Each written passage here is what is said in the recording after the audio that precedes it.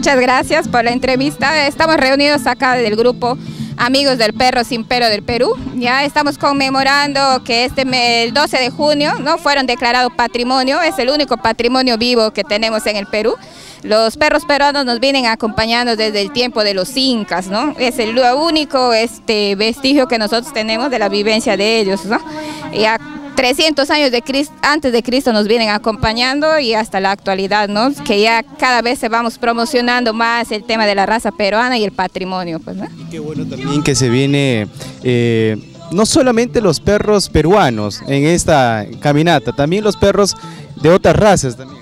Sí, quisimos, quisimos, hacer la invitación a todas las razas, ¿ya? sin discriminación, porque nosotros somos del grupo de, de perro peruano de Tarapoto, pero siempre venimos apoyando también al tema de, de los perritos que no son, ¿no? De los, de los peluditos, por así decirlo, ¿no? Que trabajamos también en apoyo con Salvando Huellas Tarapoto, que tiene muchos casos sociales, ¿no? Tratamos de, seguir adelante, no solamente este, con los perros peruanos, ¿no? Es un perro eh, y es una mascota que digamos que es fácil de diferenciar, ¿no? Tan fácil que si le vemos peladito ya decimos que es un perro peruano. Sí, así es. El perro peruano tiene el gen FOXY3, que es el gen que provoca la calvicie en estos perros, ¿no? En algunas camadas nace algún perro este, con pelo porque el gen FOXY3 se apaga. Entonces, al momento de apagarse ese gen, nace una cría con pelo, pero es una variedad del perro peruano con pelo, eh, de la mezcla de un perro peruano con pelo con un perro sin pelo salen perritos más saludables todavía. ¿Aproximadamente cuántos canes están presentes en esta movilización? Eh, bueno, el día de hoy tenemos como 40 este, perritos asistentes a la caminata. Ya eh, hay amigos también que están llegando todavía, que bueno, no están acostumbrados a caminar, entonces nos dijeron que iban a venir de frente a recreo y los estamos esperando. Pues, ¿Qué es lo que podrías decir a toda la población semartinense, más que todas aquellas personas y que se ven casos que siempre maltratan a los animales, que siempre eh, matan a los animales y les arrojan al río? Sí, eh, bueno, tenemos este, una ley de protección animal, ¿ya? Eh, que normalmente el caso más común que nosotros vemos en Tarapoto es la exposición al peligro, ¿ya? Que está penado por la ley. Exposición al peligro es que lo tengamos en la calle, que lo saquemos este, sin bozal, sin correa, ¿no? Normalmente la gente acá en Tarapoto está acostumbrada a tener pues sus mascotas en la calle. Eso es, eso es un maltrato animal también, es el, el más común que usualmente las personas incurren, ¿no? Que es la exposición al peligro, está expuesto al ataque de otros perros, está expuesto a que lo atropellen, ¿no? Eh, en caso de los perros peruanos no puede estar expuesto mucho tiempo al sol, ¿no? porque su piel es muy sensible. Eh, los perros peruanos también están protegidos por una ley, la 2757, ¿no? que es la ley que los declara patrimonio. Eh, por eso es importante conocer que al, maltratar a un perro peruano no solamente estás incurriendo en maltrato animal, sino también el maltrato a nuestro patrimonio, que también está penado por la ley. Para ello, para todos estos perritos que son callejeros, que lo tildamos de esa manera, hay una asociación Salvando Huellas, ¿no? Quienes son responsables de...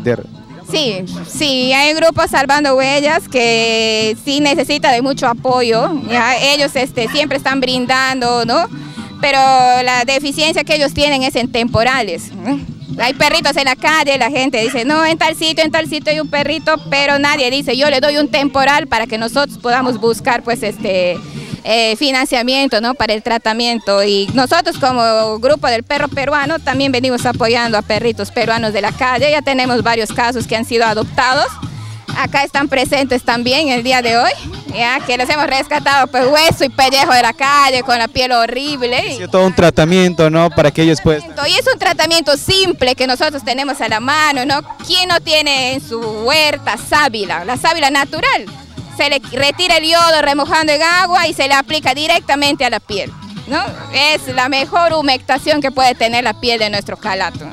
Y en esta actividad hay muchas, digamos, puntos que, se, que lo que más llama la atención es del Miser Calato, la Miser Calata. Cuéntanos así. Sí, vamos a elegir Miss Calato, no, Miss Calata, Mister Calato y el Calato Talento, ¿no? Y vamos a tener sorteo para todas las razas presentes. ¿no? Sí, tenemos la exposición de Cusicala que han venido desde la ciudad de Lima para lo, que es eh, nuestro evento de hoy día. Ellos hacen réplicas de perro peruano se le envía la foto y ellos todas las características se convierten en un muñequito. Es un muñequito antialérgico, ¿no? Que es muy bueno este para los niños. Pues, ¿no? Se va a estar sorteando. Sí, sí, ahí sí tenemos. Van a hacer sorteos presentes y los que quieran hacer sus pedidos pueden, van a tener descuentos por hoy día, ¿no? El mensaje al final para todo Tarapoto, no más que todo para no seguir maltratando a los animalitos que son los perritos y más que todo eh, darles un espacio en casa. Sí, que cuidemos de nuestras mascotas, ellos lo único que, nos saben dar, por más que nosotros a veces los, tengamos rezagado en casa, ¿no? Por el tema del trabajo, ellos solamente nos quieren dar amor, nos quieren dar cariño, ¿no? y este, tenerlos bien en casa, no nos piden más que ¿no? una alimentación, ¿no? un, cobijo y cariño de nuestra parte, ¿no? Eh, tenerlos este, bien cuidados en casa y bueno, el perro peruano como dice, es tan peruano como el ceviche y el pisco, ¿no? Inclusive más antiguo todavía que viene 300 años de Cristo, es, es una raza de nosotros debemos sentirnos orgullosos porque es un perro que ya está inscrito inclusive en la FCI, que es la, la, que califica los estándares de raza, ¿no? Es un perro que a nivel internacional viene ganando concursos por característica, ¿no? Es característica, es algo delgado, atlético, ¿no? Pero sí tiene el estándar de raza. Y es un perro primitivo, ¿no? Un perro primitivo es que está tal y como la naturaleza lo ha creado, no tiene mezclas de ninguna otra raza, ¿no? Muchísimas gracias. Pues, como digo, estar orgullosos de que es nuestro y es de todos los peruanos. Estamos aquí, hemos venido desde Lima con este proyecto muy bonito. Cusicala significa calatito alegre en quechua y efectivamente lo que hacemos nosotros es a raíz de nuestros perritos Cusco y Zipán que fueron nuestra inspiración, mi mamita comenzó a tejer los primeros prototipos de los perritos tratando de asemejarlos a ellos con todas sus características, ¿no? si tenían una manchita, un pelito de un color así, así nació Cusicala con una inspiración básicamente familiar. Luego este, de casualidad pusimos una foto en Facebook y nos comenzaron a preguntar si lo vendíamos, entonces a raíz de eso el emprendimiento comenzó a crecer y ahora tenemos varios clientes que nos envían la foto de sus calatos y mi mamita los teje muy similar a lo que ellos nos mandan, ¿no? Y cada uno sale con su nombre acá con una plaquita para también caracterizar a cada uno con su peculiaridad, ¿no? ¿Cuánto tiempo ya dedicado a ese trabajo, a esta Casi tenemos un año, ajá, un año más o menos. Y bueno, la, idea de Cusical es que si es que seguimos creciendo también, hacerlo un proyecto de característica social porque queremos eh, compartir un poco de nuestras ganancias para perros sin pelos del Perú, pero que estén en estado de abandono, apoyar a casos sociales. Esa es nuestra idea finalmente de poder compartir también, ¿no? Desde nuestro corazón. así que ya lo saben, por esa parte, discúlpeme que yo me ponga por esa parte, pero es la principal eh, que tiene que ver con esa confección. Señora, ¿qué tal? ¿Cómo estás? Bienvenida. Bienvenida a Tarapoto, muy linda su ciudad.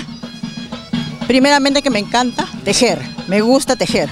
Lo que nos, lo que nos encanta a nosotros es la confección de todos estos muñequitos. Claro, me gusta tejer y la, la confección es a crochet, tejido a crochet y le doy el color según este el color del perrito, sea marrón, plomo, negro, manchitas y del tamaño también del perrito. Es decir, si yo, si yo deseo que me hagas una confección de un perro pitbull, ¿también lo haces? También, también, también hacemos, también. ¿Cuánto tiempo demora en confeccionar todos estos, este peluchito?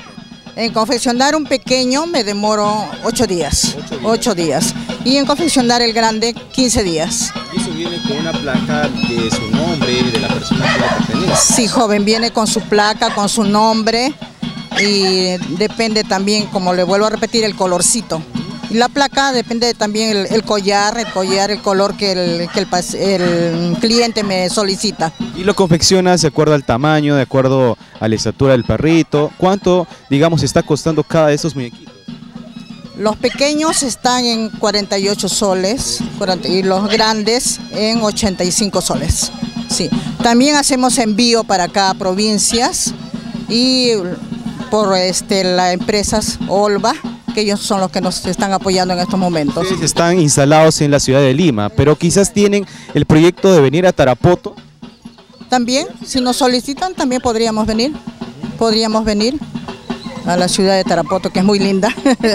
También ustedes pertenecen a este al rescate de los perros callejeros y por qué no decirlo, a ayudar a todos los perritos peruanos más que todo. ¿Qué es lo que nos puedes decir o qué le puedes decir a esas personas que maltratan a los perros y que siempre les alejan de casa a aquellos perritos que están malitos?